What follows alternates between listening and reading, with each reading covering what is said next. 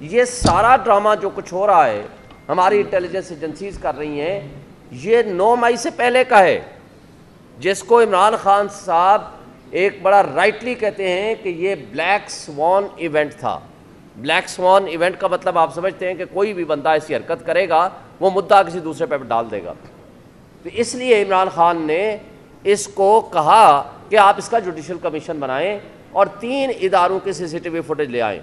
Islamabad high court की, जिस दिन इमरान खान को अगवा किया गया, और दूसरी जीएचक्यू की सीसीटीवी फुटेज और तीसरी कोर कमांडर हाउस की। लेकिन आज तक ना जुडिशल कमीशन का मुतालबा माना गया, ना वो सीसीटीवी फुटेजेस सामने लाई गई।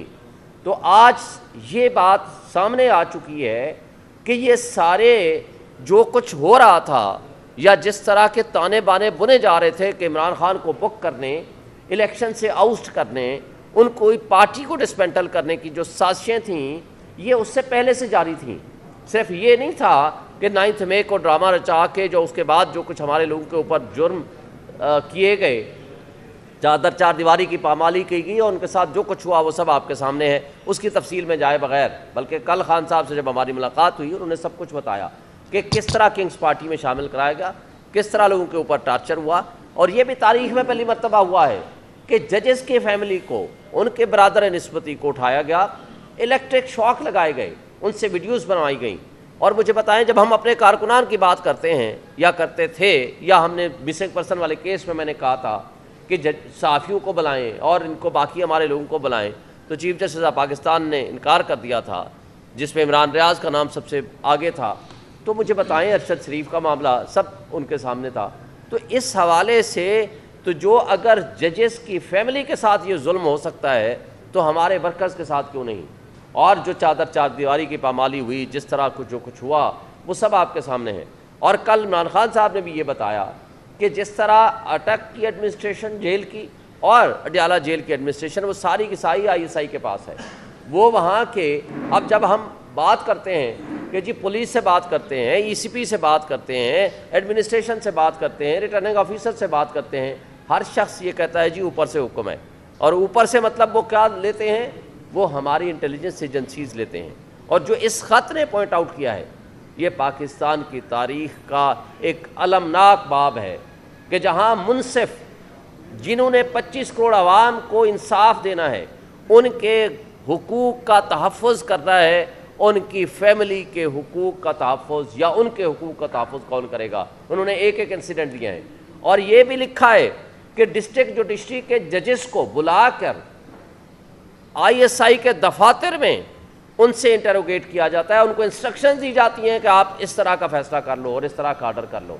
तो मैं सवाल करता हूँ कि हमारे माशाल्लाह मुहब वतन, हमारे मुख्तर लोगों ने तो दुश्मन के बच्चों को पढ़ाया या पढ़ाना था कि जिन्होंने आप बुलेट ट्रेन चला दी और समंदर में भी ट्रेनें चला दी तो अपने बच्चों का सबसे पहले आपने वोट चोरी कर लिया, अपने बच्चों को उठा करके जेलों में डाला, अपने बच्चों को उठा करके आपने तशद का निशाना बनाया, अपने इंसाफ देने वाले इदारों के ऊपर इस तरह अटैक किया तो क्या ये पाकिस्तान, क्या दुनिया की हज़ार साल की तारीख आप उठा लें?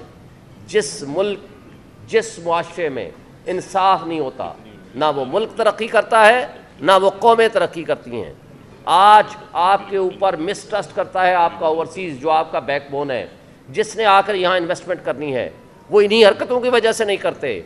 इसलिए कि जिन अदालतों ने उनको इंसाफ देना है कि वो खुद इंसाफ के मुतलाशी हैं। तो आज मुझे ये बताएँ कि किस तरीके से आप मुल्क की मीशत को बेहतर करेंगे। और फिर सबसे बढ़कर काबिल अफसोस और सबसे ज़्यादा शर्मनाक बात अफसोस से कहना पड़ता है वो ये है कि वो कठपुतली वज़ीर अजम और वो कठपुतली लोग जिन्होंने फॉर्म 45 के ज़रिए यहाँ इकतदार पर कब्ज़ा किया है डाका जनी की है, उन्हीं लोगों की मदद से जिनको वो अपने आप को उनकी आँख का तारा कहते हैं। मुझे बताएँ, शबाज शरीफ के अल्फाज। एक तो वो अलग बात है कि वो कहता है, बेगर्स आर ना चूज़र्स। वो ख़ुद भी बेकारी है और कौम को भी बेकारी बनाना चाहते हैं। दूसरी तरफ़ वो कहता है, मैं अपने मुल्क की इस्टेब्लिशमेंट का आँख का तारा हूँ। तो जिनके खिलाफ आपने इंक्वायरी करनी है तो जो आपको मुसलत हमारी कौम के ऊपर किया है रिजेक्टेड लोगों को, वो किस तरह free fair and transparent investigation कर सकते हैं? फिर ये गवर्नमेंट की मंजूरी से होगा, फिर वो रिपोर्ट आएगी गवर्नमेंट के पास आएगी। वो चाहे तो पब्लिश करें, चाहे तो ना करें। तो एक मुझे बताएँ छः सिटिंग जजेस के लोगों को तो सिक्योरिटी नहीं है। तो क्या वो सिंगल जज वो इंसाफ कर सकेगा उन छः जजेस के साथ, सिर्फ़ छः जजेस का मामला नहीं है। ये पूरे पाकिस्तान की जुडिशरी का इशू इन्वॉल्व है। पूरी जुडिशरी को किस तरीके से आप अंडर दी कॉर्पोरेट डालने की, ये तो एक तो एक साजिश है कि आप जो एक किसी रिटायर्ड बंदे को बिठा देंगे और वो गवर्नमेंट लाएगी, अपनी मर्ज़ी की वो रिकमेंडेशन लाएँगे और अपनी मर्ज़ी के वो चाहेंगे तो पब्लिश करेंगे, चाहे तो ना करेंगे। और दो मिसालें, इसी काजी फाइसा साहब की हमारे पास मौजूद हैं। मेमोगेट सुप्रीम कोर्ट ने जुडिशल कमीशन बनाया जिसकी सरबराही काजी फाइसा के पास थी। और कोयटा इंसिडेंट, जिसमें वकला शहीद हुए थे, सुप्रीम कोर्ट में जुडिशल कमीशन बनाया जिसकी सरबराही काजी फाइसा साहब ने की थी। और एक छोटी सी, हालाँकि वो गलत बात थी कि ऑडियो लीक्स किसी के नहीं कर सकते। ऑडियो लीक्स के ऊपर इसी गवर्नमेंट ने पिछले साल एक कमीशन बनाया जो सिटिंग जजेस पे मुश्तमिल था, जो काजी फाइसा साहब और chief justice Islamabad high court और chief justice Balochistan high court की सरबराही में था।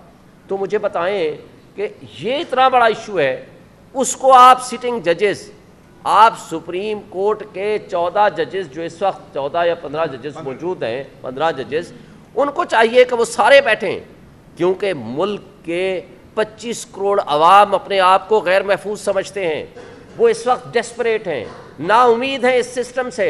और हमारा यूथ जिसने इस मुल्क की बका और मुल्क का मुस्तबिल उनके साथ मशरूत है, वो इस पूरे गंदे निज़ाम से वो बिल्कुल मायूस हो चुका है। यही वजह है कि पिछले एक साल, डेढ़ साल के अंदर पंद्रह लाख आपका प्रोफेशनल इस मुल्क को छोड़ के चला गया है। आज आपका कैपिटल फ़्लाइट है, पूरा मुल्क के लोग पैसे लेके यहाँ से भाग रहे हैं तो इस तरीके से मुल्क नहीं चला करते। अब मैं आखिर में आता हूँ आपके अपने डिमांड्स की तरफ़, क्योंकि टाइम हमने बहुत ले लिया। वो ये है कि फौरी तौर पर इसमें सुप्रीम कोर्ट के सिटिंग जजेस, कंप्लीट फुल कोर्ट, वो बैठे और इसकी आज़ादाना इंक्वायरी कराए।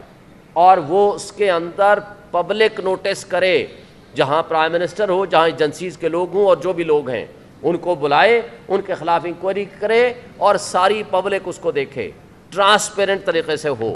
ये बंद कमरों की फैसले न कौम तस्लीम करती है, न हम पी टी आई तस्लीम करते हैं, क्योंकि ये हमारे ख़िलाफ़ साजिश है। क्योंकि जब हम इंसाफ की बात करते हैं रूल ऑफ़ लॉ की बात करते हैं तो वहाँ हम ही सबसे पहले निशाना बनते हैं। और दूसरी बात, ये जो कल परसों दो फुल कोर्ट मीटिंग्स हुई हैं, उनके मिनट्स शाये किए जाएँ, जारी किए जाएँ, ताकि पूरी कौम देख सके कि किस किस जज ने क्या क्या अपना मौक़ पेश किया है ताकि वो सामने आएगा तो लोगों को एक उम्मीद बनेगी कि किस जज ने क्या एक ओपिनियन दी है। इसके अलावा इस कमीशन को हम मुस्तरद करते हैं। ये हमें किसी सूरत काबिल कबूल नहीं है। हम पूरे पाकिस्तान में इन तहरीक चलाएँगे। वकला की भी और बाकी प्रोटेस्ट भी पार्टी के बिहार पे भी होगा। पूरी कौम को हम मोबलाइज करेंगे कि इस तरह मुल्क का निज़ाम नहीं चल सकता।